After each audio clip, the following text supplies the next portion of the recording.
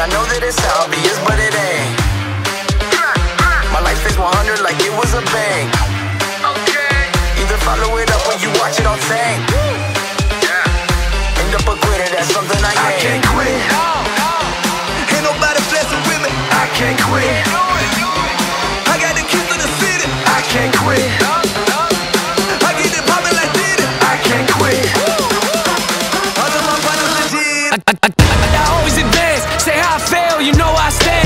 bar, I gotta expand. Top of the charts, I'm setting up camp. Pounding my stakes, I put on my tent. Shoot for the stars, they fall in my hand. Stick to my guns, I don't even flinch. Can push all you want, they moving an inch. I rarely miss, you know I'm relentless. Ain't got a choice, no way to prevent it. Just who I am, and I don't regret it. See what I want, then I go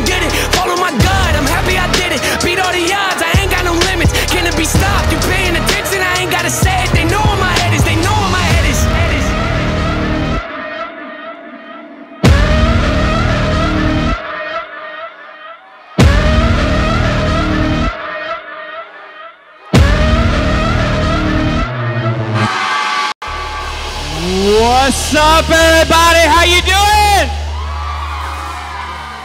Hey guys, we are excited that you guys are here. We're about to have an amazing time of worship, and uh, with that, hey, I'm not gonna hold this back anymore. I'm gonna go ahead and hand it over to our band for the week. Come All on, you guys excited? Everybody excited? Come on, let's go! Hey! Come on, I need everybody's hands up like this. Come on. Hey! If you want to, you guys can come down front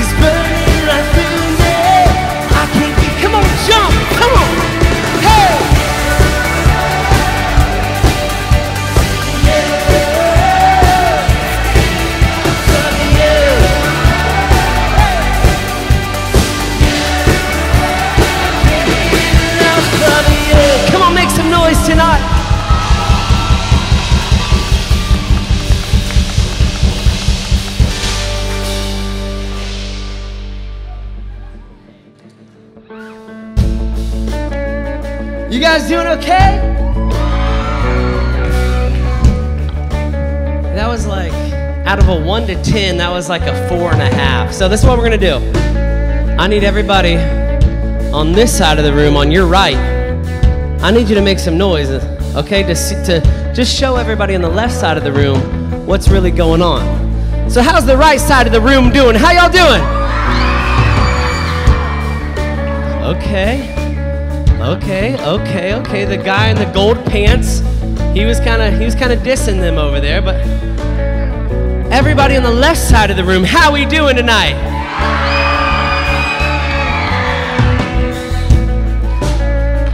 I mean, that was pretty good. That was pretty good. All right, so here's the deal. You know, I just didn't think it would be fair if we came all the way here and we just didn't introduce ourselves because I'm really believing like we're gonna have fun, we're gonna jump around and get crazy. But man, I just want you to know here, listen to this God, man, God's presence is with us right now, amen? God's presence is in this room. And I'm telling you, listen to this. That, like God is gonna do something huge this week. I believe it. He's gonna do something tonight, and it's starting right now. Okay? So I just want that's why we're here. We're here to give glory and honor to God. See, when we worship, it's really fun to jump around and do crazy things. But when we worship, we're declaring God's goodness over our situations and our circumstances. We're saying, Thank you, God, for who you are. Thank you for, for what you've done and, and believing in faith for what you're going to do. And so I just want to set the standard for worship that this week, that it's not about us. We don't worship based on a feeling, but based on who our God is, okay? Amen? Everybody agree with that? Come on. But here's the deal some practical situations, you know, we're gentlemen up here. You know, we're, we're Southern gentlemen, and so we just got to introduce ourselves, okay? Because it just would be rude if we did not. So, my name's Garrett. Everybody say, hey, Garrett. Say, you're the best in the band, Garrett. You guys did not have to say that. Like, that's way too kind. Guys, I'm the best. I'm the best. No, these guys are really the best, okay? So, everybody, give it up for Nick Murphy on the bass guitar. Come on. I've known Nick for a while. He's a, such a good dude. Glad he's playing bass with me. And on the electric guitar, the old man of the group, everybody. Give it up for Jordan Davis. Everybody say, hey, Jordan. And my good friend laying it down on the drums. Can we make some loud noise for my drummer, John Anthony? John Anthony loves drums, but he really wants to be a professional golfer. And laying it down, the music director, the glue of the band, the red headed, beautiful man, the king himself. Give it up for Joshua Bishop, everybody. Come on. Okay, so now that you know our names, I have to know your name. So on the count of three, what is your name? One, two, three. All right, what's up, Jeff? How we doing? Good to meet you. You guys, are y'all good to keep singing? We good to sing? All right, we got a few more songs. Come on, let's worship. Let's posture our heart to who God is. Let's sing together. Come on, here we go. Let's get our hands together. We sing, we praise you. Let everything. Let praise. Let praise be a weapon that silences the enemy. Let praise be a weapon that conquers all anxiety. Come on, let it rise. Let praise arise. We sing your name. The dark, and it changes everything. We sing with all we are when we claim your victory. Let it rise. Let praise arise. Come on, every voice. We'll see you break down every wall. We'll watch the giants fall. Fear cannot survive when we praise you. The God of breakthroughs on our side forever lives in our nation. Cry out, we pray.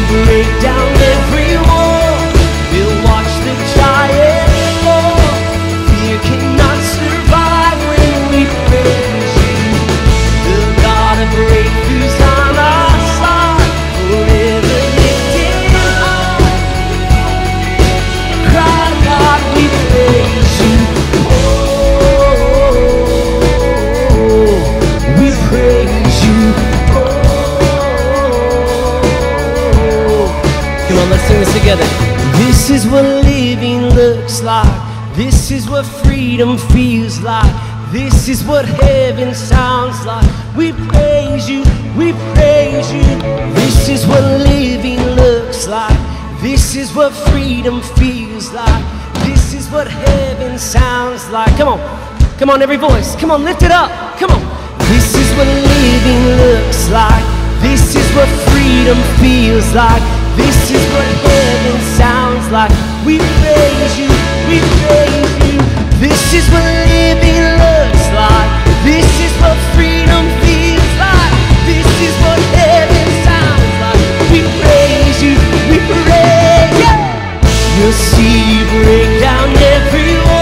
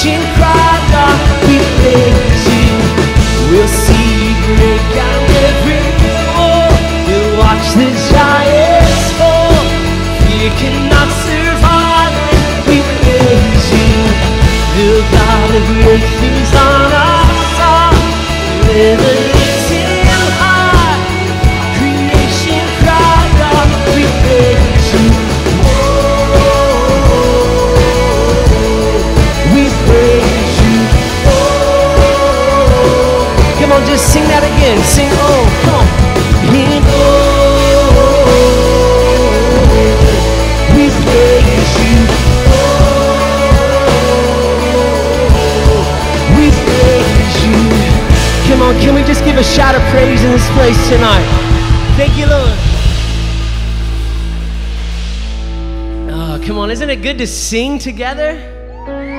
Yeah. Come on, let's keep singing. You sound beautiful. Yeah. Come on, let's sing the weapon may be formed. The weapon may be formed, but it won't prosper. When the darkness falls, it won't prevail. Cause the God I serve knows only how triumph. Oh, my God will never fail. Come on, yeah. Oh, my God, sing it.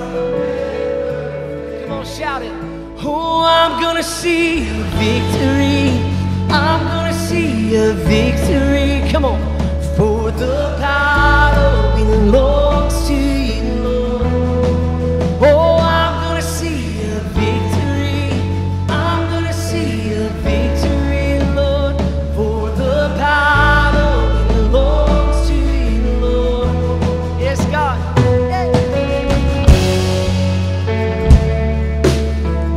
just remember that no matter what you're going through, you're not going through it alone, amen. That Jesus is with you. Come on, there's power.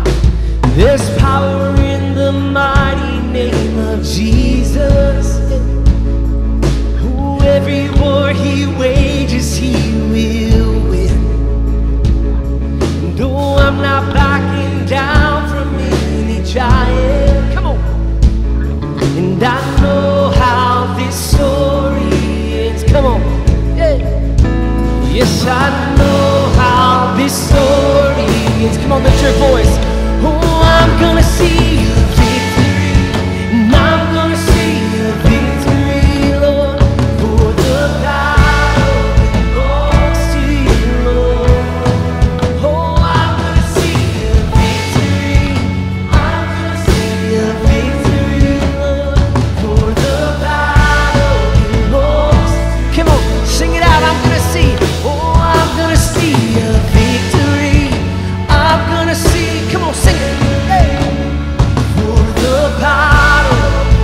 sing it over your life. Come on, lift your voice to heaven right now. I'm gonna see a victory. Come on. I'm gonna see a victory, Lord, for the battle belongs to you, Lord. Yeah. Come on, we're gonna sing this truth out that He takes what the enemy meant for evil and He's turning it around. He's turning it around for our good. Come on, let's sing it together. You take what the enemy meant for evil and you turn it for good. You turn it for good. Oh, we believe it's true. You take what the enemy meant for evil and you turn it for good. Come on. You turn it for good. Oh, around. You turn it. God, you take the enemy meant for evil and you turn it for good. You turn it for good. Oh, you are working it out. You take the enemy meant for evil. And you turn it for good. You turn it for good. Come on, lift your voice. Come on, lift it up. Hey.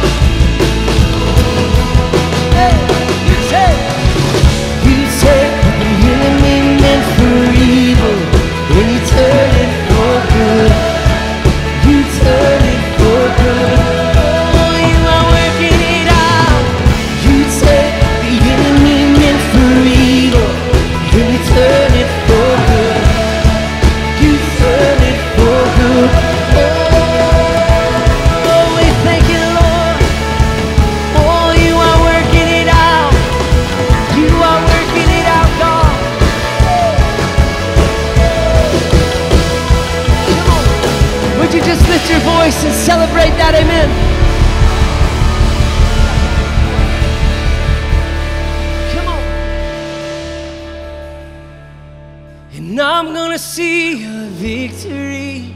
I'm gonna see a victory, Lord, for the battle.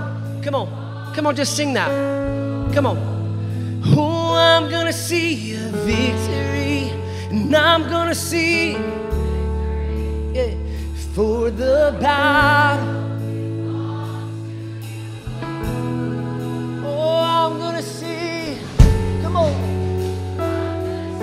Come on, even when you don't feel like it.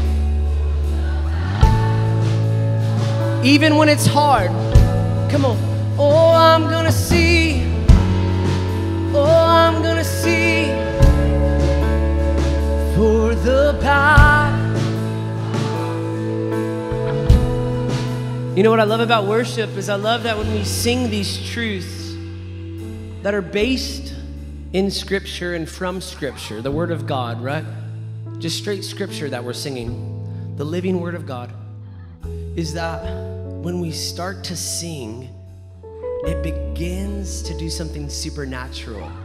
Our perspective literally begins to shift. Maybe you came in here and you're like, Garrett, you don't know my story. You don't know what I'm going through. You don't know what's happening in my home. You don't know me, man. I don't. But I know a creator. His name is Jesus. He knows you, He loves you, He is for you, He is not against you. There is mercy and grace and salvation and forgiveness for you. And I'm here to tell you tonight that if you draw near to Him, if you draw near to Him, He will draw near to you. So if you need a breakthrough right now, I know this is night one, but we're going in. If you need a breakthrough, if you're like Garrett, man, I just need a touch from God. My family's jacked up. My life is messed up. I hate going to school. I feel insecure. I'm dealing with depression, anxiety, doubt. I don't even know who God is. If you need a touch from God, would you just do something? There's no judgment in this place. But would you lift both hands towards heaven right now? Come on, if you just need a touch from God. Come on. Just lift both hands towards heaven. There ain't no judgment. I need a touch from God. I need God right now. Come on. This is just a sign of saying, God, I surrender. God, I need you. God, I long for you. God, I want you. God, I desire you. God, I'm hungry for your presence. God, and I'm I'm here because I'm vulnerable. Come on, let's sing it. Oh, I'm gonna see a victory. And I'm gonna see a victory, oh Lord, for the battle. Come on, just shout it. I'm gonna see a victory. And I'm gonna see a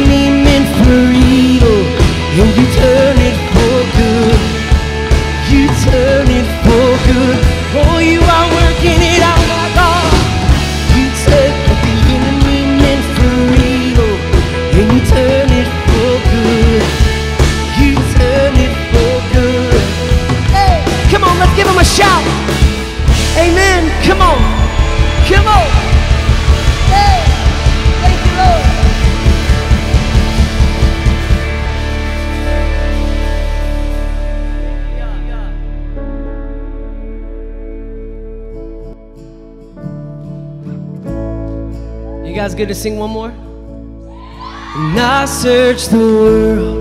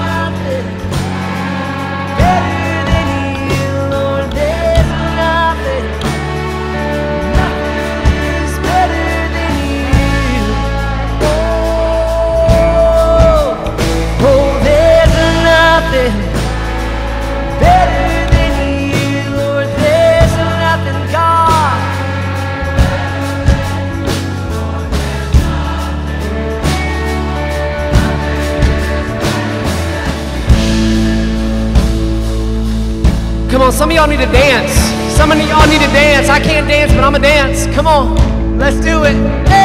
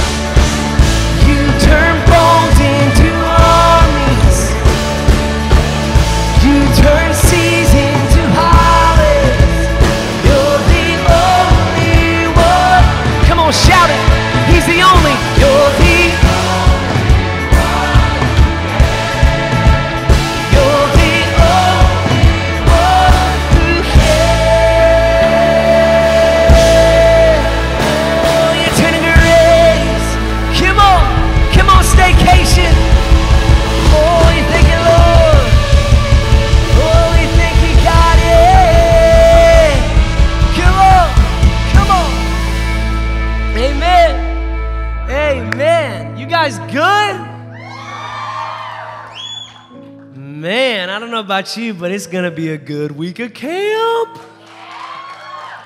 It's gonna be so good, so good. Hey, well, can you do something before you take a seat? Will you just toss one high five to somebody on your left, to your right, and say, You're awesome? And then you guys grab a seat.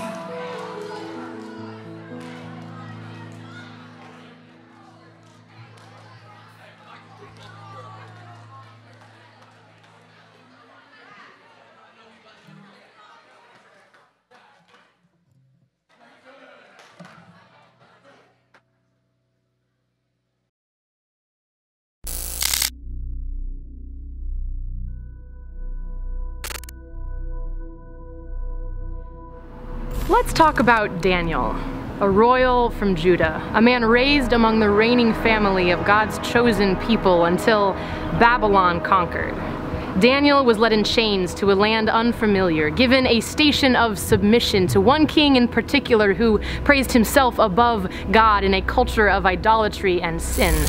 So Daniel learns to live within a culture that hated his God, a culture that celebrated sin, a culture that hated him for his religion. That sounds a lot like being a Christian, but here's the thing.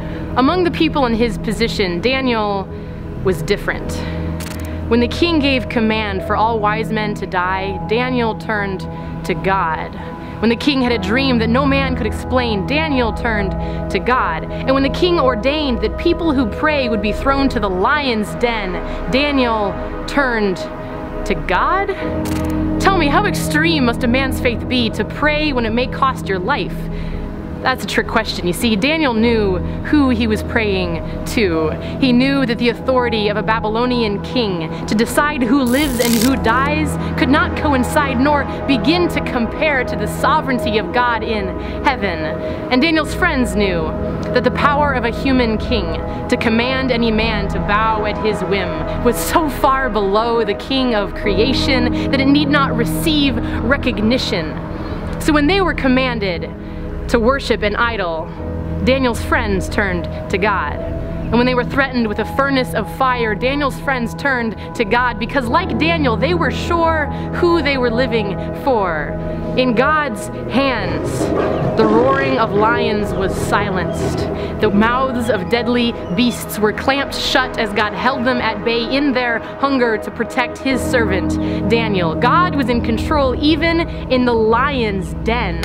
God was in control even in the flames. In God's hands, the same flames that waged so strongly to kill the mighty men of Babylon was incapable of singeing a single hair on the heads of his servants. God's people walked out of the flames without even the smell of fire upon them because God is still in control. God is still more sovereign than all of the governments in this world. God is still more powerful than anything that stands against us, and God is still worthy of our obedience, our honor, our praise, our submission. Because, like Daniel, you and I are in a position to turn against the tide and serve God among a people who celebrate sin. Fires of temptation and pain still rage around us. Beasts of this world are waiting to devour us, stalking our families, destroying our friendships, and gnawing on the wounds that cut us deepest.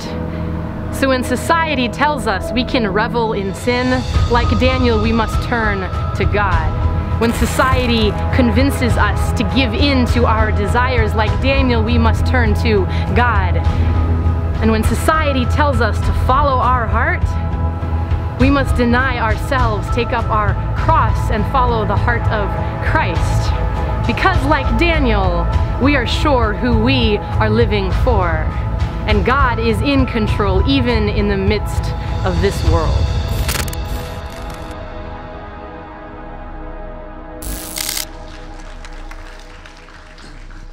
All right, staycation, how are y'all tonight? Good, I hope good, good. All right, hey, if you have a Bible, go to Daniel chapter 1. Daniel chapter 1, uh, we are going to hang out there. If you don't have a Bible, uh, just grab one of those in the pew in front of you and just keep that with you the rest of the week. Uh, that is your door prize for coming to staycation. All right, all right. So before I get going, I'd like to know who I'm talking to, and there's really only two groups in here that matter. So first are the seniors. Where are the seniors at? Yeah, all right. Hey, small in number and points this week, right? Um, all right, uh, so any sixth graders? Where are the sixth graders at? Yes, all right, good. That is what I like to hear. I love sixth graders. I love sixth grade boys uh, specifically because of this. Uh, you can give a sixth grade boy a bag of Skittles some Mountain Dew and a water pistol, and they will charge the gates of hell with you, right? Uh, like, it's so excited about everything. I love it, all right? Uh, so, my name's Ethan. I'm one of the pastors here. I'm excited to get to spend some time with you tonight. So, Daniel chapter 1 is where we're going to be. Uh, we're going to look at verses 8 to 21. All right, Daniel chapter 1, verses 8 uh, to 21. So, no one gets uh, where they want to go by accident, right? No one gets to be who they want to be by accident. No, no one uh, gets to become who they want to become uh, by chance, right? None of us are like Bob Ross trees, happy little accidents, right? That, that's not any of us. If we know who we want to become, we know who we want to be, we know what we want to be like, it takes intentionality right? Uh, it takes us doing something. Uh, so, uh, some of you might know. Now, it's been said that we all have doppelgangers, right? Anyone know what a doppelganger is? Uh, they, everyone has a twin. So, um, I, I, don't like to tell people this a lot, but I've been told that my doppelganger is a guy named Tim Tebow. Anyone know who Tim Tebow is? Okay, all right, laugh, whatever. Uh, uh, so, Tim Tebow disciplined guy, right? Uh, he just signed a contract with the greatest NFL team to ever play the game, the Jacksonville Jaguars. Uh, am I right? Yes, thank you, thank you. We have some Christians in the room. Praise the Lord, right? Uh, so, uh, Tim Tebow, uh, this is Tim Tebow now. He just signed a contract with the Jaguars to play tight end. Uh, but before this, Tebow stopped playing football for a little while and started playing baseball. And this is what Tebow looked like as a baseball player. Now, if you look at this picture and the other picture, picture you'll notice something different, right? Uh, so here, like his arms are big but not serious. Like, go to the next picture for me. Like, look at that, right? Man, like that dude is jacked. He is strong. I saw a meme the other day. It said, like, Tebow been lifting more than Bibles, right? Like, that dude is big, right? But Tebow didn't get there on accident, right? He, he didn't get there by chance. He, he didn't just say one day, hey, I want to play in the NFL, uh, and then ate like Big Macs and drank a bunch of Coke and then ended up like that, right? Uh, he, it took time. It, took working out, it took dedication, it took intentionality, right? Uh, none of us get to be what we want to be. None of us get to go where we want to go on accident. This week, we're going to study the book of Daniel. And as we dig into the book of Daniel, we're going to unpack this theme of against the tide. And as we start this week, uh, I want us to spend some time. We're going to look at Daniel chapter 1. And we're going to spend some time thinking about this idea of standing against the tide. And as we look at Daniel 1, this is what we're going to see standing against the tide doesn't happen by accident. Right? Standing against the tide doesn't happen by accident. We can't just say, hey, I, I want to stand strong. I, I want to I wanna be who God has called me to be. I, I, I want to do what God has called me to do. And I'm just going to float into it. I, am just going to drift into it, right? a couple weeks ago, we had some friends that had uh, they were staying in orlando and so we went to go see them and uh, the resort that they were staying at had a lazy river. And i'm a big fan of i was a big fan of lazy rivers and then i had kids and like all of a sudden lazy rivers became work right? Because i'm trying to make sure like this kid doesn't drown and this kid doesn't drown and this kid doesn't run into that lady over there because she looks mean and, and different things like that. And i could just sit in that river and just go around and around and around. It was going to take me wherever it wanted to go. That's what, what our culture does, right? The world that we live in, if we don't stand against the tide, we just kind of float to, to wherever uh, the, the culture, wherever the world wants us to go. And, and so, what we're going to see tonight is that uh, as Christ followers, that's not an option for us. That, as Christ followers, is people who are following Jesus, we've got to stand against the tide and, and we've got to be intentional, right? We don't accidentally follow Jesus, right? We don't accidentally become like Jesus. So look with me at Daniel chapter 1. We're going to read a pretty good chunk, verses 8 down to 21. This is a story, so we need to see what's going on. I'll go back in and, and fill in kind of some of the, the beforehand here in just a minute. So, Daniel chapter 1, Verse 8 uh, the Holy Spirit says to us, But Daniel resolved that he would not defile himself with the king's food or with the wine that he drank. Therefore, he asked the chief of the eunuchs to allow him not to defile himself. And God gave Daniel favor and compassion in the sight of the chief of the eunuchs. And the chief of the eunuchs said to Daniel, I fear my lord the king, who assigned your food and your drink. For why should he see that you are in worse condition than the youths who are of your own age? So you would endanger my head with the king? Then Daniel said to the steward, whom the chief of the eunuchs had assigned over Daniel, Hananiah, Mishael, and Azariah, Test your servants for 10 days. Let us be given vegetables to eat and water to drink. Then let our appearance and the appearance of the youths who eat the king's food be observed by you, and deal with your servants according to what you see. So he listened to them in this matter and tested them for 10 days. At the end of 10 days, it was seen that they were better in appearance and fatter in flesh than all the youths who ate the king's food. So the steward took away their food and the wine they were to drink and gave them vegetables. As for these four youths, God gave them learning and skill in all literature and wisdom. And Daniel had understanding in all visions and dreams. At the end of time, At the end of the time, when the king had commanded that they should be brought in, the chief of the eunuchs brought them in before Nebuchadnezzar. And the king spoke with them, and among all of them, none was found like Daniel, Hananiah, Mishael, and Azariah. Therefore, they stood before the king, and in every matter of wisdom and understanding about which the king inquired of them, he found them ten times better than all the magicians and enchanters that were in all his kingdom. And Daniel was there until the first year of King Cyrus. Let's pray. Father, we're grateful for this time that we can come here together tonight and this week. And Lord, we pray that, that even now you would speak to us. Lord, we pray that, that you would show us what you would have us to see in your word, that you would prepare us to stand against the tide. So, Father, we pray this and we ask this in Jesus' name. Amen. So, we pick up in the book of Daniel. Daniel and his buddies, they find themselves in Babylon. Uh, they're, they're Jews, they're, they're Israelites. Uh, and because of Israel's sin, uh, God is punishing them. And the way He's punishing them is He's using this wicked kingdom, this, this wicked country, and this wicked king named Nebuchadnezzar. And so they find themselves in Babylon and they find themselves even ripped from their families. They've been brought into uh, the king's court. They've, uh, they've been brought into this strange place because they stood out.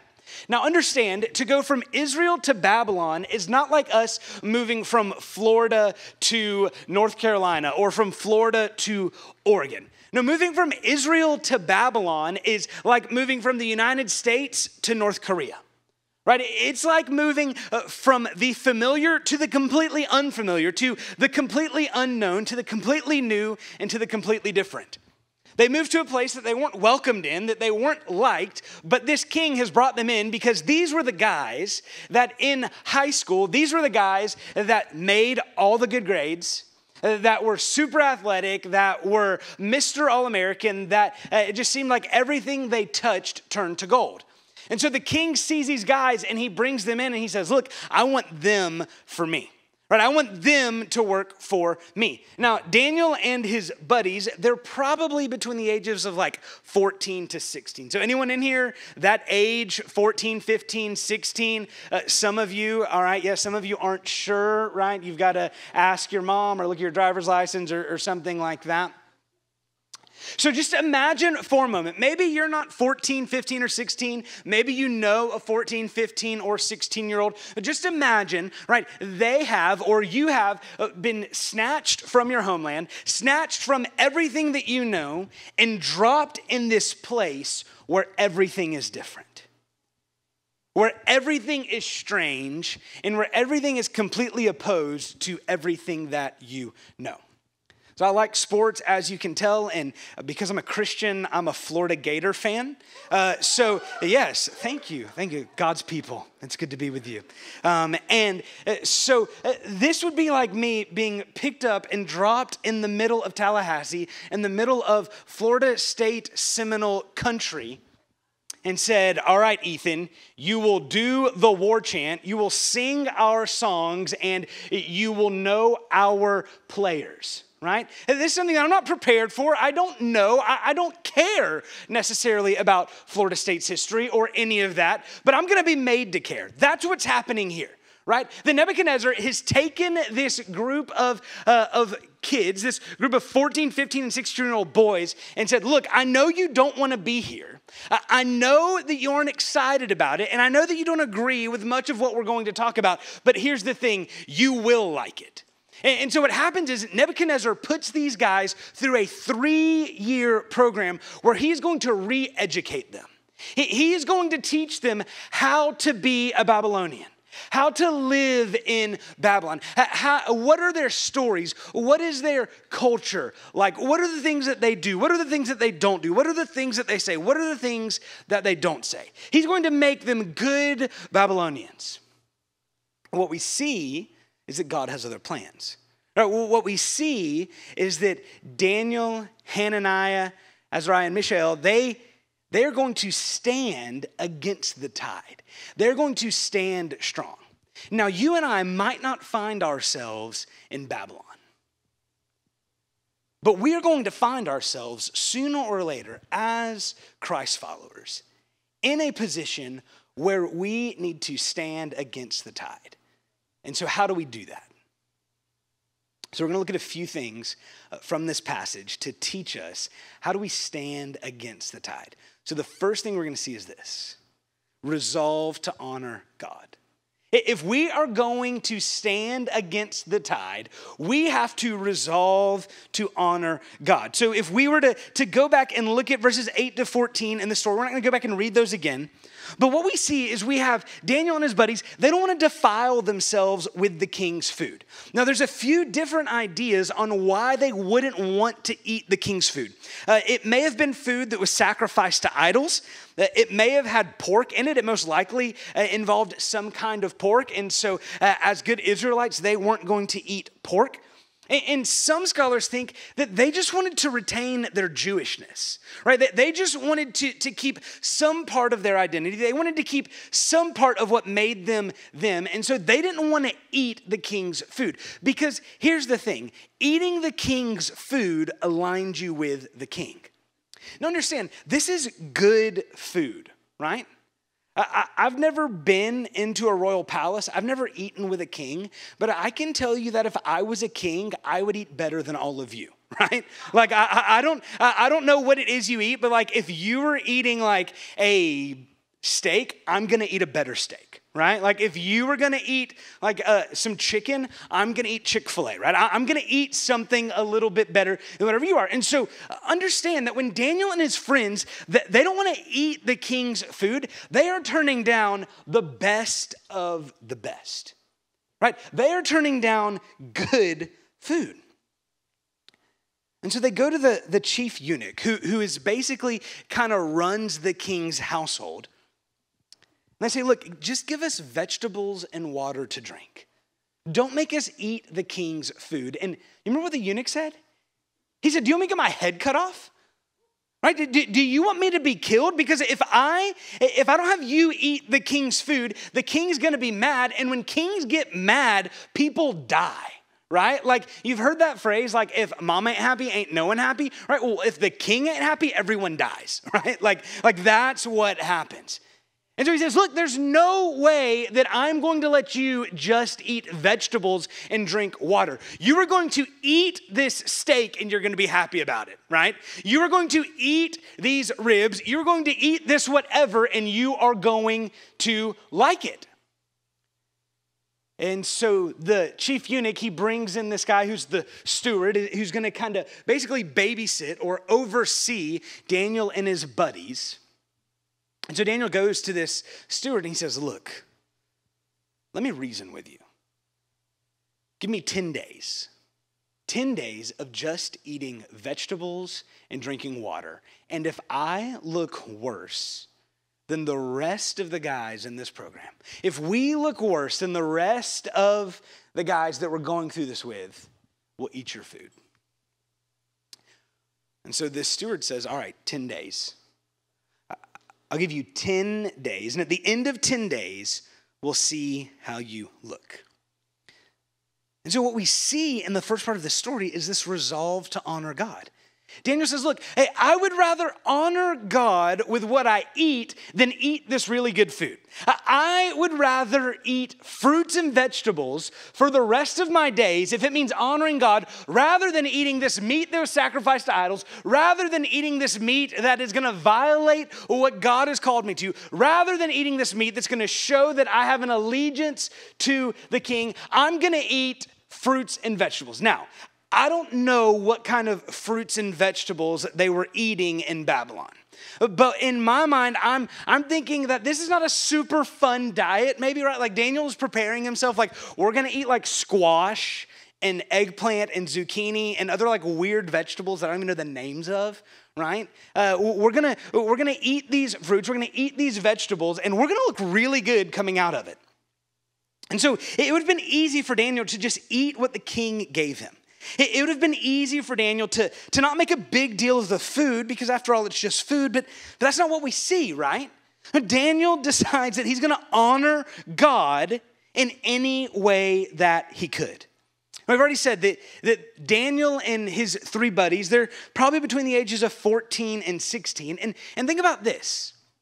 Right, we've already said that they've been ripped from everything they know. They've been ripped from their families. They've been ripped from what is normal. And so Daniel and his buddies, they resolve to do this. They resolve to eat vegetables. They resolve to honor God. They decide that they're going to honor Him, not because they have their mom or their dad or because Pastor Mike is there saying, hey, you should follow Jesus. No, they're doing this simply because they love God. Right? They're not doing this because eh, someone is there telling them, hey, this is what good little Christian boys and girls do. Eh, they're not doing this because eh, someone is over their shoulder saying, hey, you need to do this. No, they're doing this because they want to honor the Lord. So imagine that you're pulled from your family, you're pulled from everything familiar, you're taken to a strange place. You're tempted with the finest everything. And you can have it all if you'll just decide that honoring the Lord doesn't really matter in your life. What would you do? You're offered the finest everything. Whatever it is, you can have it. All you've got to do is just forget about that God uh, all you've got to do is just decide that that's okay, but it's not really that important. See, Daniel's resolve to honor God, it, it, didn't just happen when he was thrown into temptation. No, Daniel's faith had been prepared for this long before he ended up at Nebuchadnezzar's dinner table. Because remember, standing against the tide doesn't happen by what? It doesn't happen by accident right? You don't just one day decide, hey, you know, I think that I'm going to stand strong today. I think that I'm going to just resist this temptation today. That's not the way it works, right? Like, I'm not going to go to the gym in the morning and say, you know what? I think that I can bench press three elephants right? Like, like just not going to happen. I know some of you are saying, like, that dude's got the body of a Greek god. Like, his arms look huge. I think he could do it, right? I think he could do it, but I can't, right? I know it's a surprise.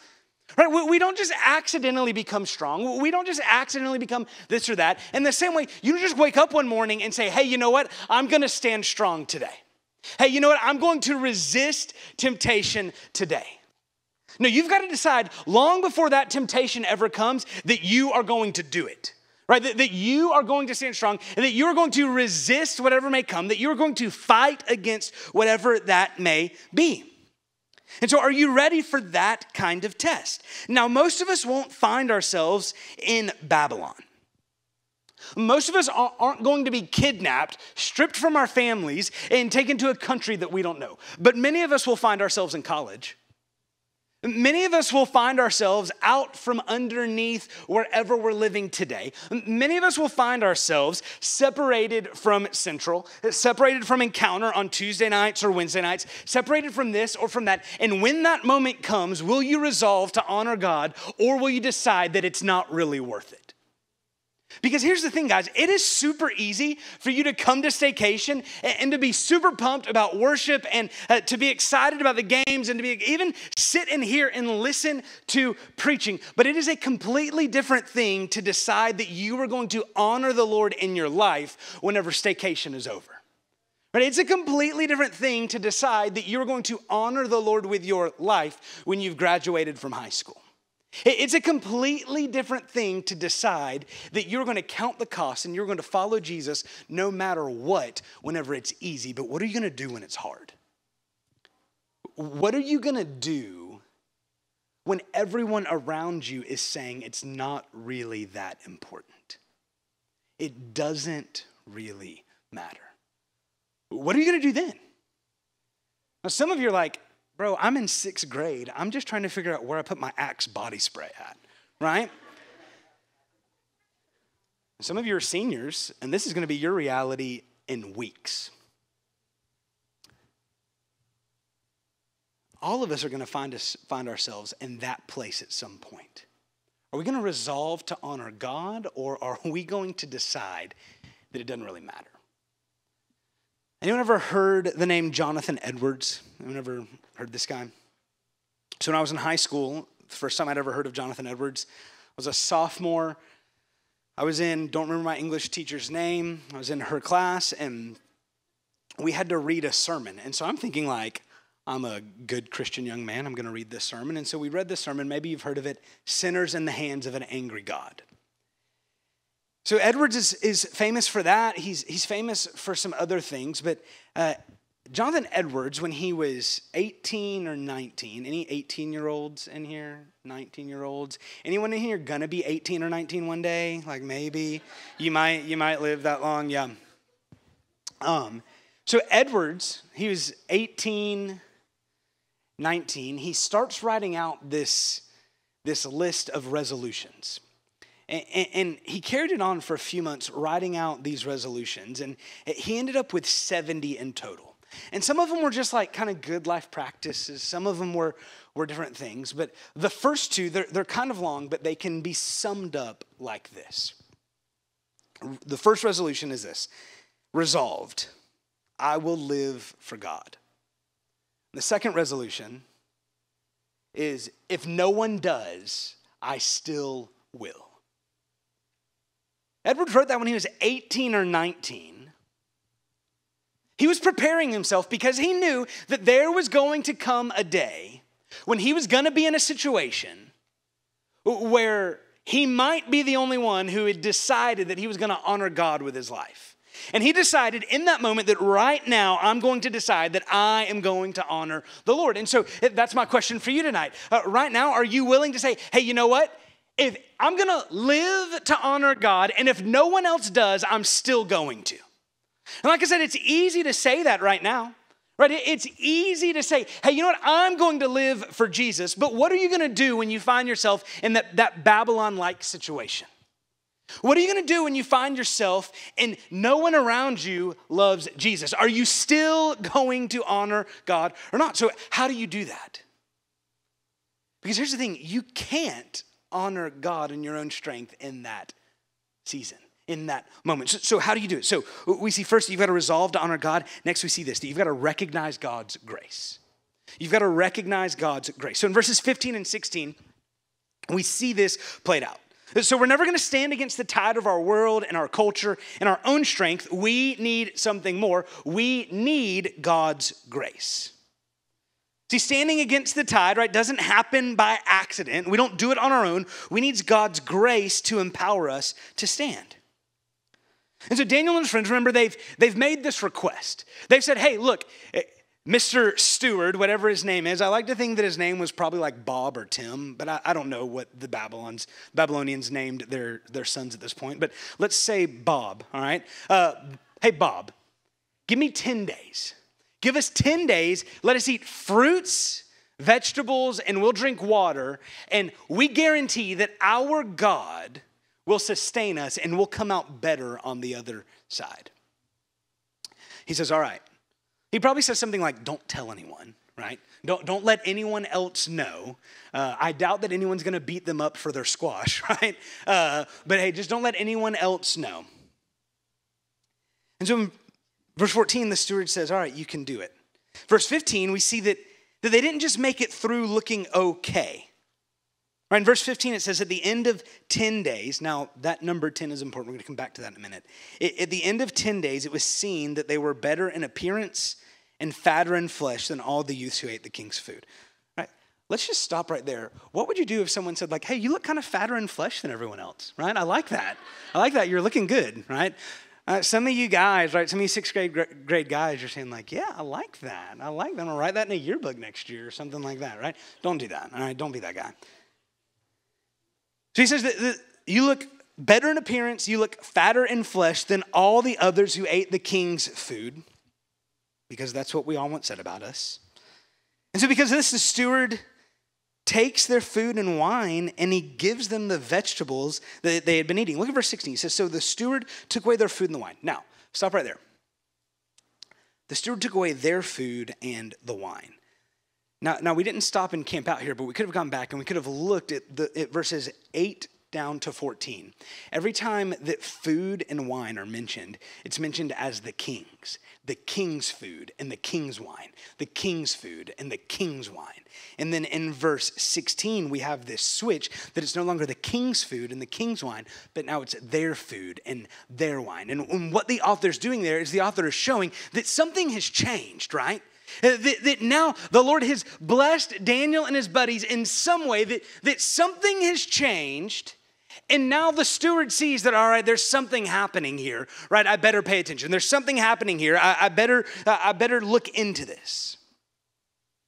Now, he sees that they, they weren't able to look strong and healthy by eating only vegetables and, and drinking water in their own power, right? They didn't accomplish this by eating superfoods, right? Daniel and his buddies, they weren't just saying, all right, look, just give us kale and some sweet potatoes and some of this and some of that, and we're gonna drink like some Propel water with some extra electrolytes, and that's really gonna make us strong. No, they're, they're doing it in such a way as to not draw attention to themselves. And so they're just eating whatever vegetables they have. They're drinking the water as they get it. And yet they looked better than everyone else. They looked better than everyone else without even trying. They were stronger, fatter in flesh, we might say, right? Better in appearance. See, if we're going to stand against the tide, just like Daniel and his friends, it's going to take God's grace. We're never going to make it on our own. We, we might stand for a while, but eventually we will fall. Eventually we'll get tired. Eventually we'll give in. So if we need God's grace to, to stand against the tide. And really, guys, here's the truth we need God's grace just to live, right? The only reason that you and I are breathing right now is because of God's grace. The only reason you're here tonight is because of God's grace. The only reason that you were born and brought to a place like this instead of to some other place is God's grace. We need God's grace to live, and we certainly need God's grace to stand against the tide. That means that we pray, we worship, we read the Bible, we press harder into God and His grace, and He empowers us to stand stronger. So, to stand against the tide, we need more of God and less of everything else. Now, now, get this, right? Daniel and his friends, they're in this situation where they are being inundated day after day with Babylonian myths and Babylonian stories and Babylonian culture and Babylonian this and Babylonian that. So they're, they're not being given a, a steady diet of like sound biblical teaching, right? They're not digging into the Hebrew scriptures over and over and over again. In fact, they're being deprived of them. And maybe you're saying, I, I, can't even imagine what that's like to just have these, these darts just kind of thrown at me, right? So you're, you're seeing nothing but Babylonian this and Babylonian that and Babylonian this and Babylonian that. So, so that all you can think about, all you can hear, all you can feel is Babylon. And eventually you're going to begin to see yourself as a Babylonian. Now, maybe you and I aren't in that situation, but can I say this? That if you spend more time on TikTok than reading your Bible, maybe you're more like the Babylonians than you care to admit. Right? If you spend more time just scrolling on Instagram, or reading whatever you do on Snapchat, I've never used it, or whatever, like making like TikTok dances or whatever it may be. Is that a dance? Yeah, y'all like that? Right? Maybe, maybe you get a, a little glimpse of what it's like to be in Daniel's shoes, more of a glimpse of what it's like to be in Daniel's shoes than you actually realize. If you spend your days playing Fortnite and your nights playing Candy Crush or whatever it may be, I don't know. You, you, you spend all of your time doing that. Guys, what you've got to understand is that as you get more and more of the world into you, you push more and more of God and His grace out of you, right? See, we need more of God and His Word and His grace and less of the junk of this world. But some of us are just inviting this stuff in, right? I, have got an iPhone, and the worst part of my week, my relationship with my iPhone, is on Sunday mornings. Because on Sunday mornings, I get the screen time report. Anyone get this? Yeah, and I think it's persecution, right? Like I, I, I think uh, Apple is judging me, right? And I look at that screen time report, and for a while I would look at it and I would think, there is no way that is right. And so now what I've started doing is whenever I get that notification, I just clear it before I can see it, right? Because I don't want to know, like, I don't need, yes, thank you. I don't need that kind of negativity in my life, right? But it's embarrassing. It's embarrassing that, that I spend that much time on my phone. You know how much time I spent last week on my phone? I'm not going to tell you, right? Uh, I'm not going to do that because you would judge me, and then I would judge you for judging me, and it just it'd be ridiculous, right? But, but here's the thing, guys. We spend so much time right? Connected to, maybe it's not an iPhone, maybe it's something else. Guys, here's the thing maybe it's a, I don't use social media, but I read a lot of books. Well, guys, it's the same thing in some ways, right? Now, I think you should read books more than social media, but if you're, you're constantly uh, just losing yourself over here and, and, this and that and, and not digging into God and His Word, if you're replacing God's Word with some other thing, whatever that thing may be, then you are being a lot more like a Babylonian and a lot less like Daniel. To put it another way, you're being a whole lot more like a Babylonian and a lot less like Jesus, right? And so we need more of God's grace. We need more of God's word. We need more of worshiping Jesus. We need more of gathering with our brothers and sisters to be encouraged to follow Jesus than we do anything this world has to offer. And it's only when we're convinced of that that we will be able to stand against the tide. It's only whenever we're convinced that all of this is more important than all of that that we're going to be ready to stand against what the world throws at us.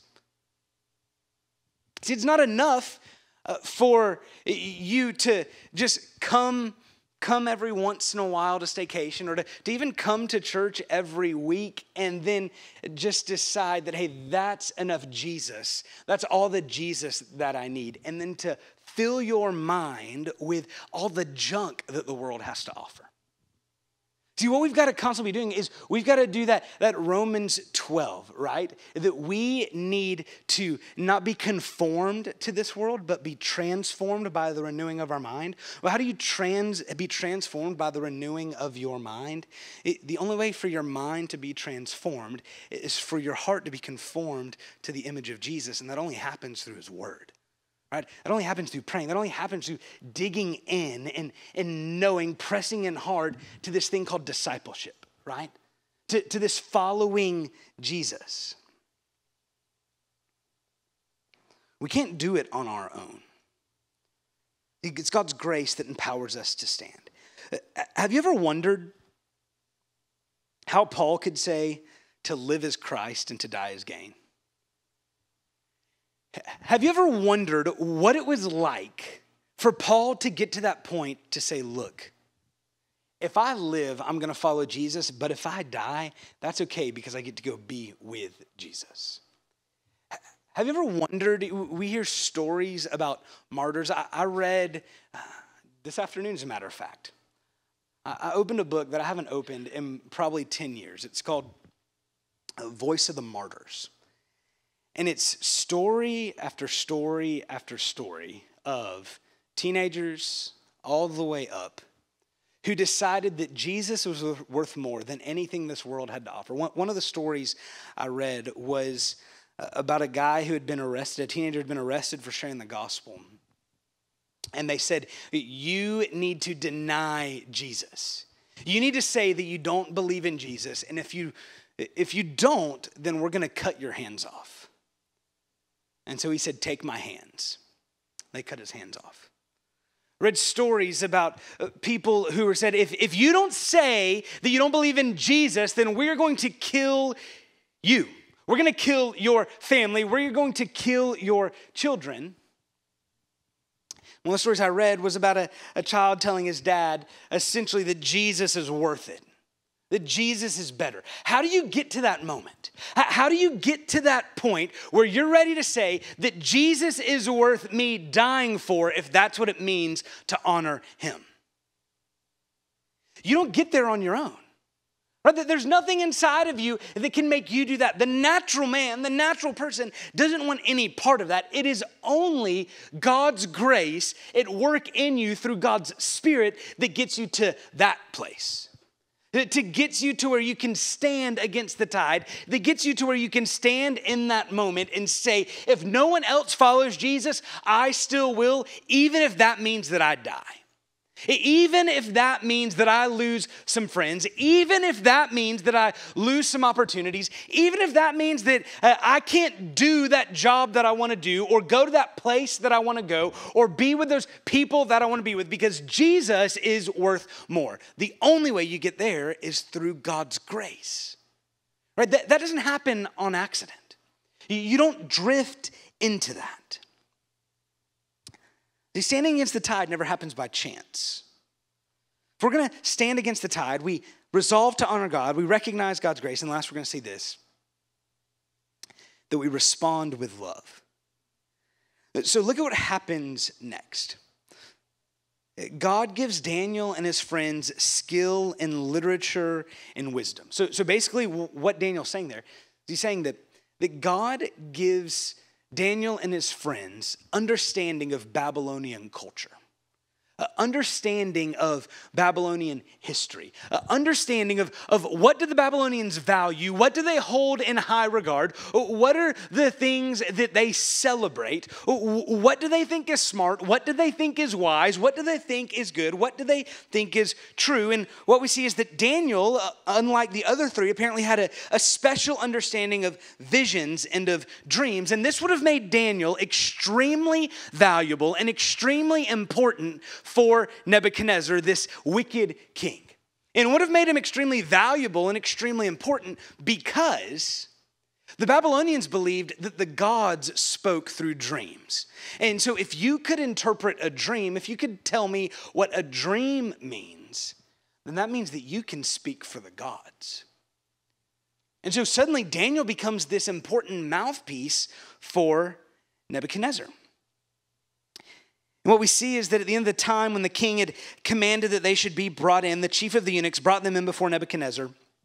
The king spoke with them, and among all of them, none was found like Daniel, none of them was found like his buddy. And it says, and in every matter of wisdom and understanding about which the king inquired, he found them 10 times. Now remember, I said we are going to come back to that 10, right? That they, uh, they ate the vegetables and the fruits for 10 days and they were found good. What we see here is that God redeems the 10, right? God redeems those days. And he says, look, they're not just a little bit smarter than the magicians and the enchanters, they are 10 times smarter than them. It's not even close. It's not even a contest. It's not even a conversation. Daniel and his buddies are far away better, far away wiser, far away more talented than any of the other enchanters and magicians and all of that. And so at the end of their training period, they're, they're brought in before the king, and no one stood out like Daniel and his friends. Every question they ask, every problem they bring, they take it to Daniel, they take it to his friends, and they're blown away by Daniel's wisdom. They're blown away by his buddy's insights. Now, what we might expect here is for Daniel and his friends to be bitter, right? Look, I, we're friends, right? We're all friends in this room. I am what some people might call a mama's boy all right? Thank you. All right, it's good to get that off my chest. So, like, I love my mom. I am her favorite child. Um, tell my sister, please.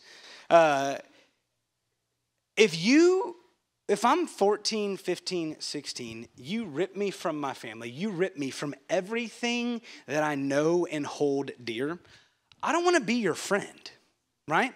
I, I don't want to help you. I, I don't even really like you, right?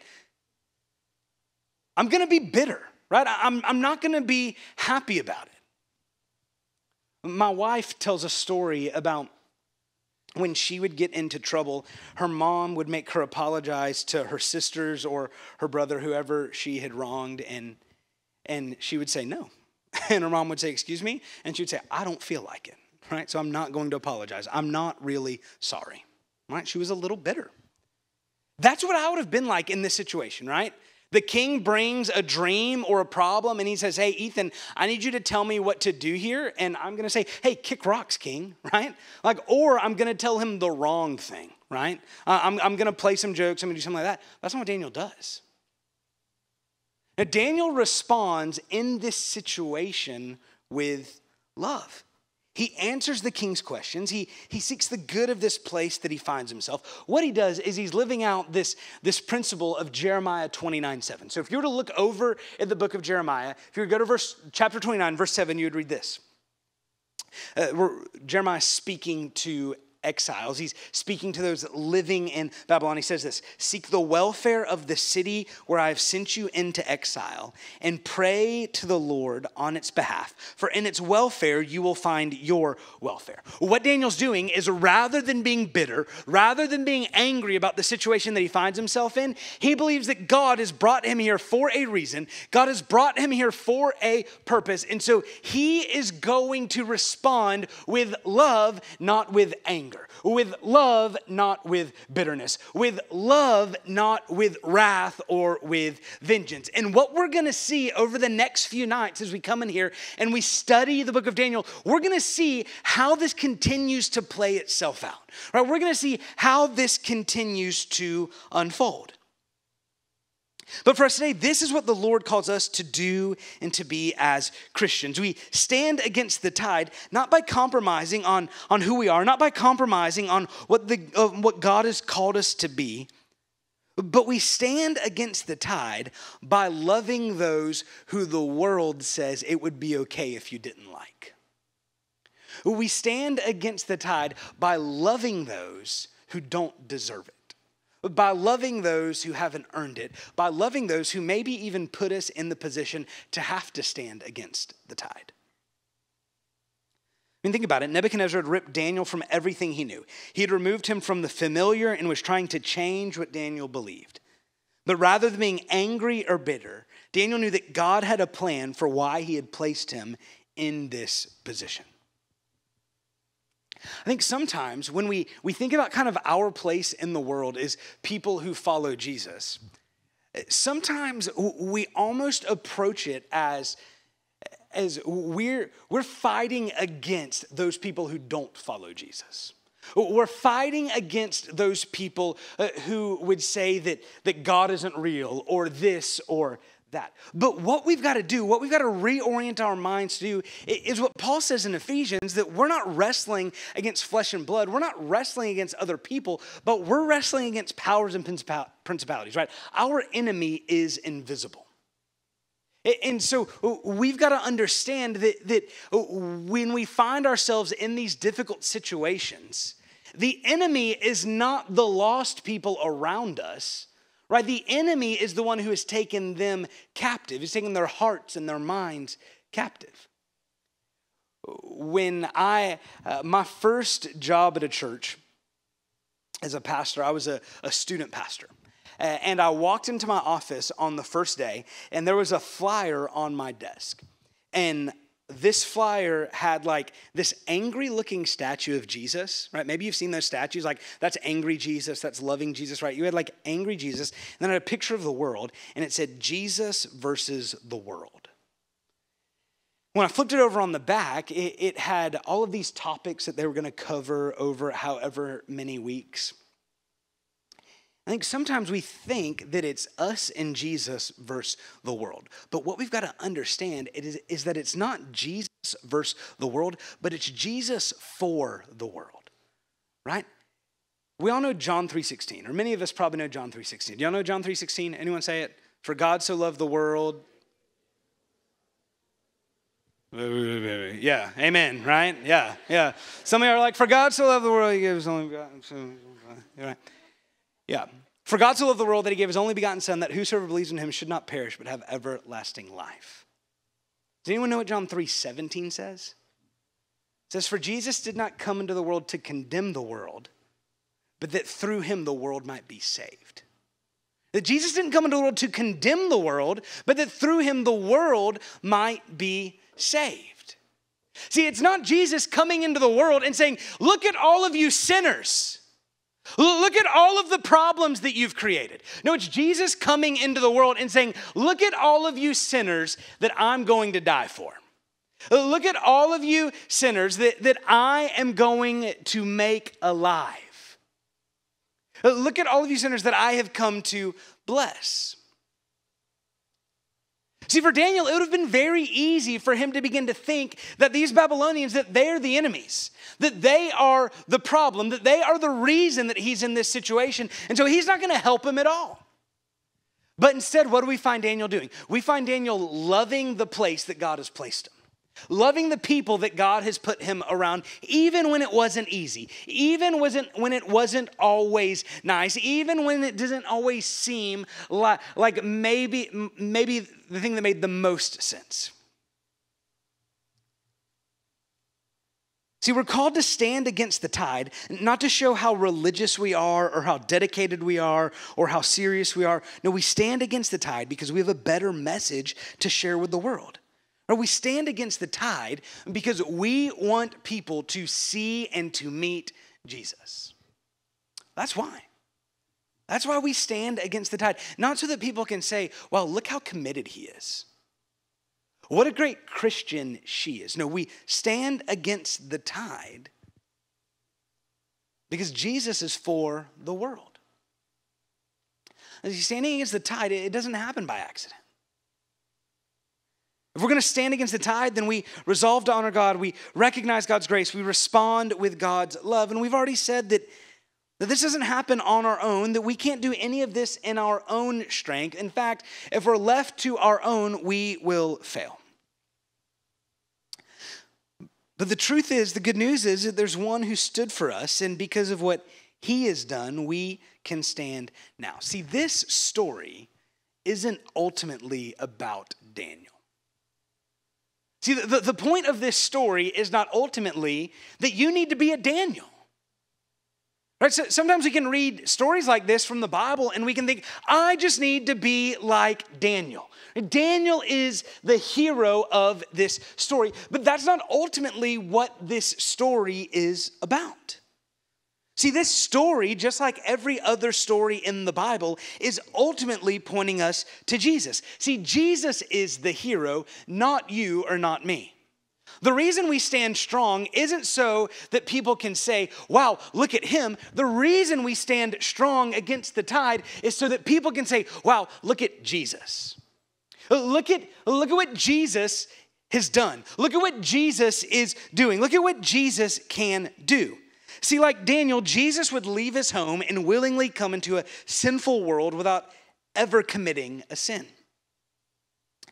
Like Daniel, Jesus would walk in wisdom even as a child. His, his teachers would be amazed by his understanding and his answers. Like Daniel, Jesus would be tempted, but unlike Daniel, Jesus is tempted by the emperor behind the emperor, right? By the, the prince of darkness, by the ultimate enemy, by Satan. But unlike Daniel, Jesus would take the judgment of sinners. Jesus would take the penalty that you and I deserved on the cross in our place. He would bear God's wrath for every bad thing you've ever said, every wrong thing you've ever thought, every sinful thing you've ever done. Jesus would take it on the cross. He would take God's wrath for that sin on the cross. He would die, he would be buried for three days. And the end of three days, he would rise again. He would show that he had conquered sin, that he had conquered death. And now, anyone who will believe in him, anyone who will trust him, can have life both now and forever. See, because Jesus stood against the tide of sin and death on the cross, you and I don't have to. In fact, you and I can't. But because of what Jesus did on the cross when he, he was crucified and bled for you and for me, you and I no longer have to take that wrath if we'll trust in him. if we'll believe in him.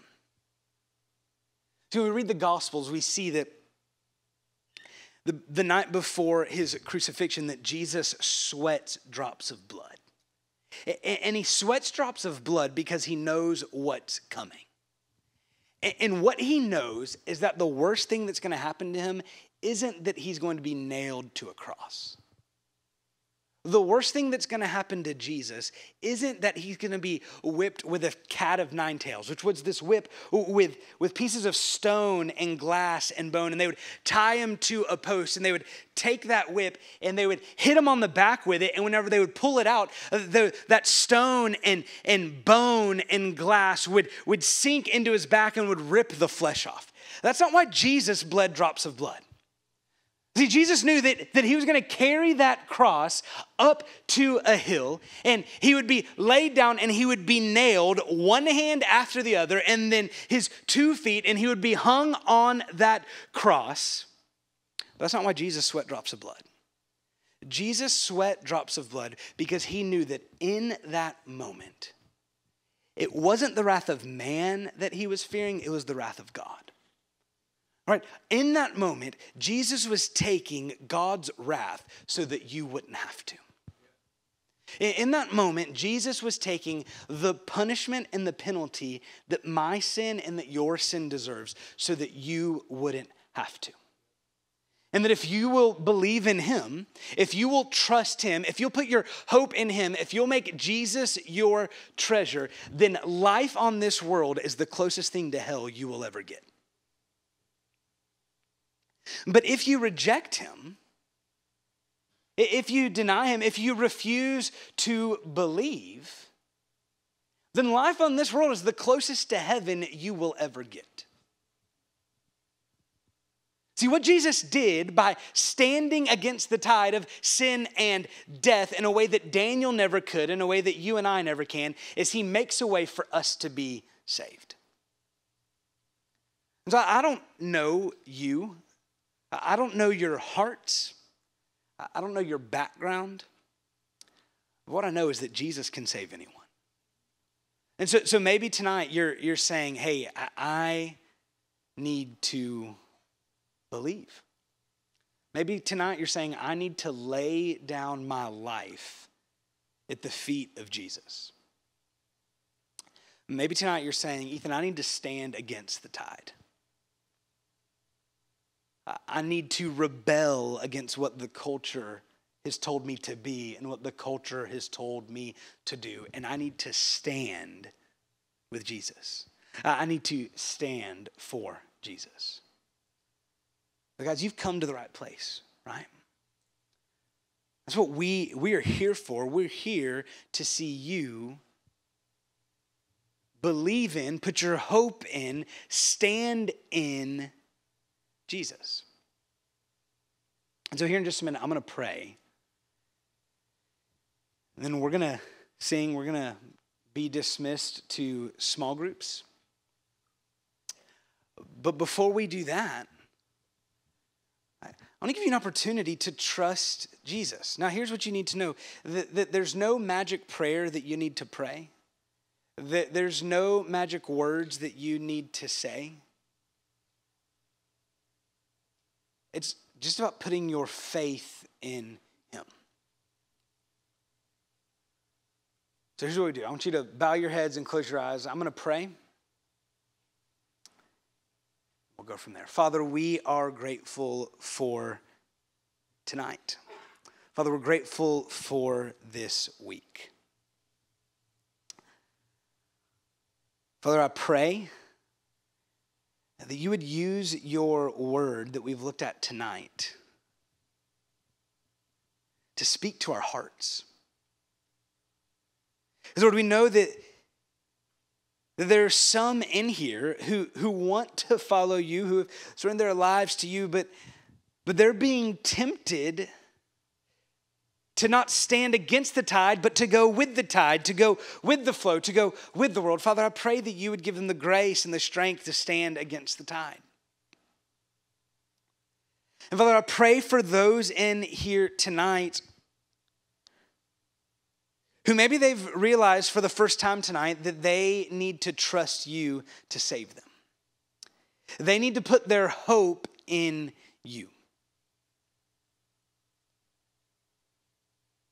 Father, I pray that you would you'd speak to their hearts. That you would call them to yourself. So guys, don't don't look up, don't look around. But maybe tonight you would say, "Hey, I need I need to give my life to Jesus. I need to follow Jesus." Like I said, there's there's no prayer that's going to save you. There's no no right words, no no magic incantation. But what we see in the Bible over and over again is that God hears our prayers. And so if you saying tonight, Ethan, I believe I need to surrender my life to Jesus, then I just want you to pray something like this. Father, I know I'm a sinner. I know I deserve wrath, but God, I trust that Jesus has taken it for me. So, Lord, I give my heart and my life to Jesus. I want to live and walk with him forever. Here's what I want you to do. If you prayed that prayer, I just want you to look up at me. So there's several of you who prayed that prayer. Right, se- several of you who said, Hey, I want to follow Jesus. So here's what I want you to do. If that's you, you're the one who prayed that prayer. Where's Pastor Mike at? Is he in here? If you prayed that prayer, I just want you to walk to the back of the room. And Pastor Mike and Brandon will be back there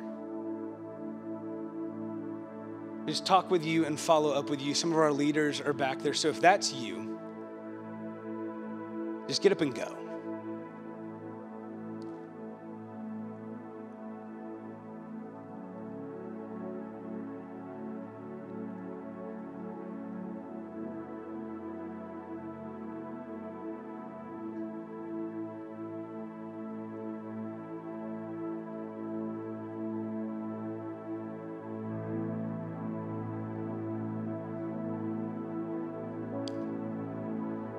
Drag this out, guys. I'm going to pray and we're going to sing and we're going to celebrate that Jesus saves.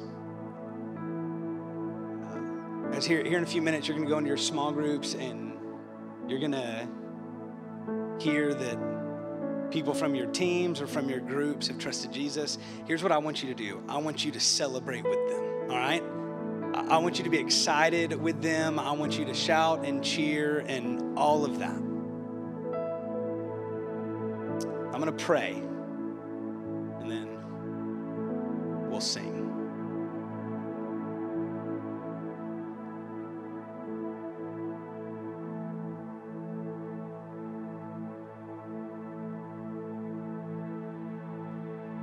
Father, thank you for today. Thank you for this evening. Lord, thank you that you save sinners. Father, we are celebrating about new life in Christ in those who have said, Hey, I want to give my life to Jesus tonight. God, we're so grateful that you save people like me. You save people like Mike. You save people like those in this room. And so, Father, I pray that tonight is the beginning of a great move of your spirit. Lord, I pray for those in here tonight who maybe they say, I should have gone, I, I should have, uh, I should have gotten up. I prayed the prayer. Lord, I, I pray that you would continue to work in their hearts, you would continue to work in their lives. And Lord, that, that this week would be a time where they do business with you. And so, Father, we pray even now that you would do what only you can do, that you would apply your word to our hearts. It's in Jesus' name that we pray. Amen.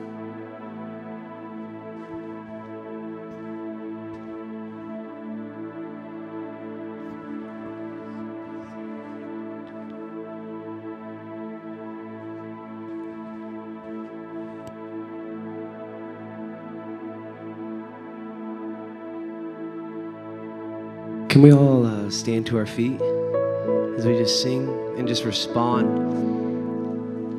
in worship to the Word of God, what we just heard?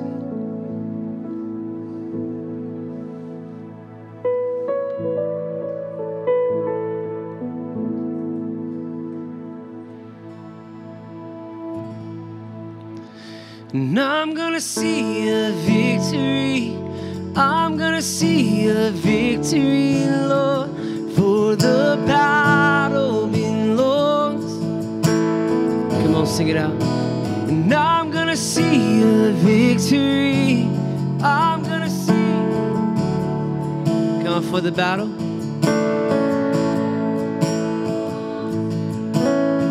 Come on, sing it again. And I'm gonna see.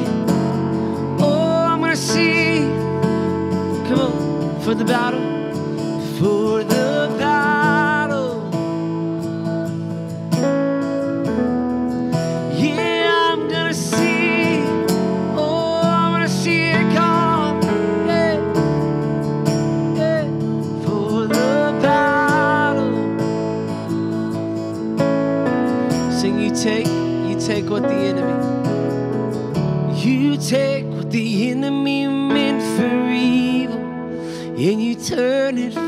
good.